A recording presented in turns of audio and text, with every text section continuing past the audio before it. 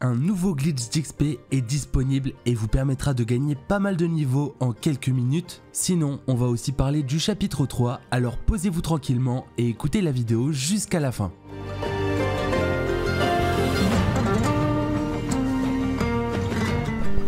Yo tout le monde c'est Thomas, j'espère que vous allez bien. Aujourd'hui on se retrouve pour une nouvelle vidéo sur Fortnite qui devrait à la fois vous plaire et vous aider. Histoire de pas sortir trop de vidéos, j'ai décidé de réunir à la fois deux glitches d'XP et des informations sur l'actualité de Fortnite. Avant d'aller plus loin, je compte sur vous pour lâcher un maximum de pouces bleus, c'est très important et ça me ferait vraiment plaisir. Pensez également à vous abonner à la chaîne YouTube pour être sûr de rien manquer concernant l'actualité ou les prochaines astuces. D'ailleurs, voici la liste des derniers abonnés un grand merci à vous, alors abonnez-vous pour passer dans la prochaine vidéo. Dernière chose, il y a une grosse surprise qui arrive sur Instagram, alors je vous conseille de venir me suivre, mon compte c'est Thomas en vrai, il y a le lien en description. Pour commencer cette vidéo, je tiens à vous rappeler que dans le jeu, c'est disponible, vous pouvez voter entre le lance-grenade de proximité et le pistolet à silex. Alors heureusement, le silex est en train de gagner largement, mais il n'est pas encore disponible. Hier, il avait dépassé la barre des 50%, alors continuez de donner vos lingots d'or, comme ça il fera rapidement son retour. Je tiens à rappeler qu'Epic Games nous a teasé la prochaine réalité par rapport au Silex et que c'est donc important de le voter. Et en plus de ça, on sait que l'une des armes du chapitre 3, ce sera un Silex légendaire. Du coup, n'attendez plus et allez dépenser vos lingots d'or, je compte sur vous. Parlons maintenant du chapitre 3 et de quelques teasers qu'on a eu de la part de Donald Mustard. Comme vous le savez, il adore nous teaser l'avenir de Fortnite, que ce soit en termes de collaboration, de nouveaux skins, etc. À chaque fois, il le fait de manière subtile, que ce soit en modifiant sa bannière, sa biographie ou en postant quelques stories ou vidéos. Et là justement, c'est le cas, il a posté la vidéo que vous voyez à l'écran en se filmant et en parlant un peu de la fin du chapitre 2, etc. Alors en soi, dans ce qu'il dit, il n'y a rien de très surprenant en fait, il donne simplement son avis. C'est plutôt dans l'arrière-plan de la vidéo qu'on peut remarquer quelques indices. Par exemple, on peut voir des figurines ou encore des livres en lien avec Star Wars et on sait qu'une collaboration aura lieu en décembre. Du coup, il y a plein d'autres indices à remarquer, que ce soit au niveau des livres, au niveau des tableaux, etc. Je vous invite à faire vous-même votre analyse parce qu'on ne peut pas tout prendre en compte forcément. Mais ce qui m'intéresse le plus, c'est qu'à un moment de la vidéo, il montre son iPad et sur celui-ci, on peut voir qu'il a dessiné une nouvelle variante pour Jones. On remarque qu'il serait emprisonné avec sa tenue orange comme s'il était détenu. Et venant de Donald Mustard, ça m'étonnerait que ce soit un hasard et je pense qu'un jour ou l'autre, on aura cette variante dans le jeu. En plus, au niveau de l'histoire, on sait que l'agent Jones a trahi l'Institut onirique en faisant des choses qu'il n'était pas censé faire. Du coup, c'est possible que l'Institut onirique détient l'agent Jones en prisonnier. Je sais pas si c'est le cas, mais en tout cas, cette vidéo de Donald Mustard n'est pas là pour rien. Parlons maintenant d'une nouvelle collaboration qui a été annoncée dans la nuit avec Marvel puisque Nick Fury, le directeur du Shield, a été ajouté dans le jeu. Maître de l'espionnage, Nick Fury du Shield s'infiltre sur l'île pour combattre la menace surnaturelle posée par le cube.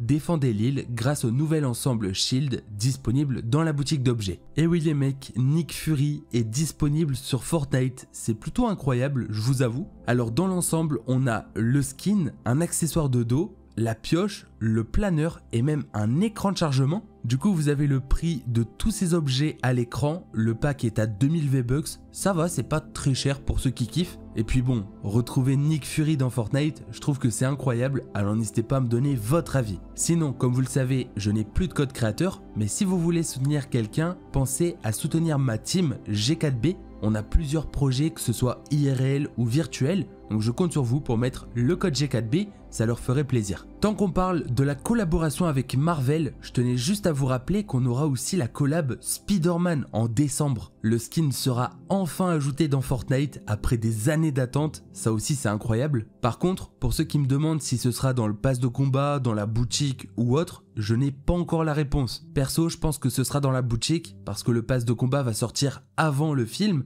et puis sinon ce serait trop tard. En tout cas, je suis hype et une petite information, Epic Games a déjà commencé à travailler sur la 19.10. En gros, la première mise à jour qui arrivera après le lancement du chapitre 3. Ça nous annonce donc un nouveau chapitre avec certainement des mises à jour dès le début, pas comme c'était le cas au lancement du chapitre 2. Epic Games a sûrement compris son erreur et ça c'est une bonne nouvelle. D'ailleurs, c'est pas la seule bonne nouvelle qu'Epic Games nous a donnée, puisqu'on sait qu'un nouveau jeu sera gratuit d'ici quelques temps, Dead by Daylight. C'est un jeu d'horreur qui n'a rien à voir avec Fortnite, mais ce sera gratuit sur l'Epic Games Store, donc surveillez ça et pensez à le prendre puisque c'est gratuit. Bref, on arrive donc à la deuxième partie de cette vidéo et comme vous l'avez vu au titre, je vais vous présenter deux glitches d'XP qui devraient vraiment vous aider. Alors, on commence par le premier glitch, il est très rentable, par contre vous ne pourrez pas être AFK et vous devrez toucher à votre manette ou votre clavier. Pour commencer, vous allez dans le mode créatif en solo normal et vous allez charger une map que je vous mettrai en description. Du coup, vous mettez exactement le même code et une fois que la map est chargée, vous allez à l'intérieur. Une fois dans l'accueil, vous allez simplement placer un marqueur sans forcément lancer le jeu, c'est pas nécessaire. Vous mettez juste un marqueur et vous retournez à l'accueil. Une fois à l'accueil, vous allez créer une map avec une île à grille. C'est l'île qui est verte sur les différentes îles de départ. Vous allez donc entrer dans cette île et une fois à l'intérieur, vous allez commencer par placer un spawn de joueurs, une plaque d'apparition, et vous allez la recouvrir par un cône. Quand c'est fait, vous vous approchez du coin et vous allez devoir prendre deux poissons différents, le poisson faille et le poisson cube. Vous vous mettez exactement dans le coin le plus proche possible et vous allez déposer les différents poissons pour qu'ils tombent dans l'eau. Quand c'est fait, vous vous approchez encore plus du bord de la map et cette fois-ci vous lancez le jeu. Si vous êtes assez proche, comme moi, vous allez pouvoir voler en dehors de votre map. C'est là qu'on a réussi le premier glitch. La deuxième étape, c'est tout simplement de ramasser les poissons que vous avez fait tomber dans l'eau. C'est important, pensez à les prendre. Et là, vous allez voler jusqu'à votre marqueur qui se trouve à peu près à 6000 mètres. Faites juste attention de ne rentrer dans aucune île, sinon ça va annuler la méthode. Une fois que vous vous rapprochez de votre marqueur, la map va donc spawn, c'est tout à fait normal, et vous allez devoir lancer un poisson cube exactement au même endroit que moi. En gros, vous lancez le poisson cube là où vous avez mis votre marqueur à peu près. Quand c'est fait, vous vous rendez sur la gauche et vous allez lancer vos autres poissons, poisson faille et poisson cube. Ensuite, vous allez pouvoir vous approcher de la map et rentrer à l'intérieur de celle-ci. Là, vous aurez du coup la possibilité de lancer le jeu. Une fois dans la map, vous aurez donc à côté de vous normalement le poisson ombre que vous venez de lancer juste avant. Vous allez le ramasser et puis le consommer pour pouvoir passer à travers le même mur que moi. En gros, vous traversez les différents rochers et là vous allez pouvoir accéder à une partie de la map à laquelle on n'est pas censé aller. Une fois traversé, vous pouvez rester en ombre et vous allez devoir vous rendre là où vous avez lancé les autres poissons, cube et poisson faille. Alors là, il y a une petite manipulation à faire pour gagner du temps. Vous allez prendre le poisson faille, vous allez le consommer et pendant ce temps-là, vous allez spammer pour pouvoir ramasser vos poissons cubes histoire de les ramasser dans votre inventaire. Si tout se passe bien, vous êtes en planeur avec vos poissons cubes dans les mains, ça c'est très important. Vous allez donc voler jusqu'au même endroit que moi, ça c'est vraiment pour gagner du temps pour les flemmards comme moi justement qui veulent gagner quelques secondes. Et une fois arrivé au même endroit, au niveau des différents rochers, vous allez consommer un poisson cube et vous allez traverser les rochers en sautant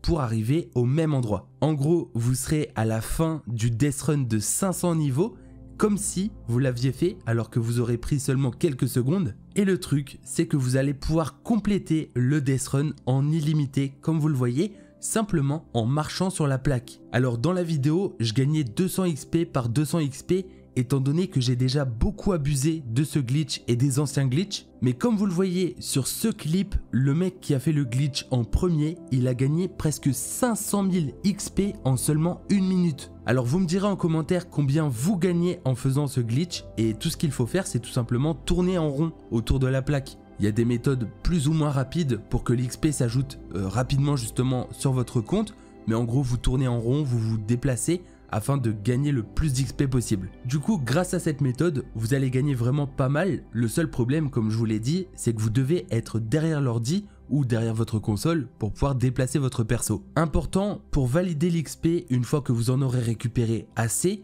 soit vous retournez à l'accueil, soit vous terminez la map en prenant le jeton qui se trouve juste derrière. Ça permet de bien sauvegarder. Et c'est seulement une fois que vous êtes retourné à l'accueil que vous pourrez quitter le jeu et le mode créatif, etc. On passe donc au deuxième glitch, lui il est vraiment abusé, par contre l'XP va baisser progressivement, vous allez comprendre. Pour commencer, vous allez donc à l'accueil du mode créatif, c'est très important, et vous vous dirigez sur la gauche pour pouvoir utiliser les deux portails, les mêmes que moi dans la vidéo. Alors sur le portail de gauche, vous allez mettre le même code que moi, faites attention à bien mettre le point d'interrogation, le V et le égal 25, c'est super important. En gros, vous allez charger une version de la map qui fonctionne toujours parce que les autres sont malheureusement patchés. Du coup, vous allez patienter quelques instants, il faut attendre que la map se charge totalement avant de continuer la manipulation. Quand c'est fait, vous allez vous rendre sur le portail qui se trouve juste à côté et vous allez charger la deuxième map que je vous mets. Le deuxième code sera aussi en description. Du coup, vous allez charger cette map, vous patientez encore une fois quelques secondes, le temps qu'elle soit chargée, et quand c'est fait, vous pouvez vous rendre dans la première map que vous avez fait charger. La miniature, c'est écrit Just Drive. Une fois que vous serez dans la map, normalement en haut, vous aurez un message qui vous dit que vous êtes sur une ancienne version de l'île. Et là, tout ce que vous allez devoir faire, c'est prendre une voiture, faire le même petit chemin que moi, ça se trouve juste à côté. Et là, vous aurez des systèmes présents avec des matelas sur lesquels il faudra simplement rebondir pour gagner de l'XP. Alors allez bien sur les matelas à pied parce que sinon votre voiture va s'envoyer à des kilomètres et vous allez perdre du temps. Et comme vous le voyez, sans rien faire, vous allez gagner de l'XP simplement parce que votre personnage est en train de rebondir en illimité. Donc comme vous l'avez vu, sur la map, il y a deux matelas. Il y a celui qui est un peu plus haut et celui qui est un peu plus bas. Si vous êtes sur console, je vous conseille de prendre le plus haut. En fait, le plus petit, ça va vous faire gagner de l'XP plus vite, mais seulement si vous avez un bon PC, sinon vous allez crash. Alors après ça, vous n'aurez plus rien à faire et votre XP va monter progressivement à une vitesse quand même assez folle. Encore une fois, le seul problème que vous pouvez rencontrer, c'est que l'XP petit à petit va se diminuer. Mais bon, comme vous l'avez vu, moi j'ai atteint le niveau 400, alors d'ici là vous avez le temps Profitez-en les gars avant que tout ça ne soit patché. Du coup, on s'approche de la fin de cette vidéo et j'espère vraiment qu'elle vous aura plu. Si c'est le cas, je compte sur vous pour partager et lâcher un maximum de pouces bleus. Comme vous le savez, ces glitches peuvent être patchés par Epic Games à tout moment et si jamais il y en a de nouveaux, je vous les présenterai avec plaisir. Du coup, n'oubliez pas de vous abonner et puis nous, bah, on se donne rendez-vous très bientôt. Allez, ciao les potes